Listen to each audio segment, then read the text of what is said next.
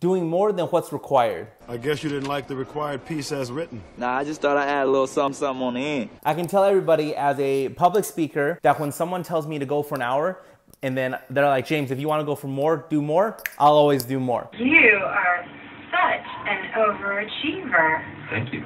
If I'm with a client and I'm supposed to make testimonial videos and they, they're contracting me to do three testimonial videos and I can do five, I'm gonna do five. Always do more. You know why? Because at the end of the day, they're only gonna like you more. If they like you more, they're willing to pay you more. I like you, Josh. People that we don't like, we don't wanna pay those people. So, uh, you got, uh, you got my money? People that we like, people that we see that work hard for our brand, we wanna pay them more. That took guts. We need guts. I'm promoting you. So if you ever been in a situation where you're like, I wish more people would hire me, then you gotta do more work. Work, work, work. Learn to not just get new clients, but maintain your existing ones by keeping them happy. You failed to maintain. We all have those old coworkers or those current coworkers We have sort of a problem here.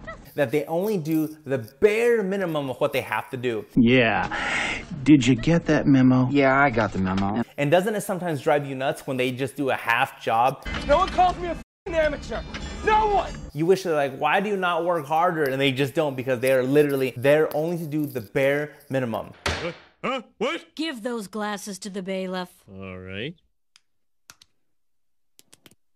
And those. Oh. And then you work with the people that go all out and they don't care if, even if they're not getting paid at that particular time, You gotta work hard. I swear to God, if you're not gonna do it, I'm out.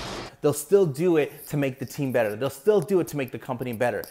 Because I work hard. And those are the easiest people to work at. And guess what? By default, those are the people that have their jobs longer, and those are the people that get the raises. So don't forget, guys, always do more than what is required. If you guys like this video, give it a thumbs up, subscribe to my channel, share on social media, and I'll see everybody tomorrow.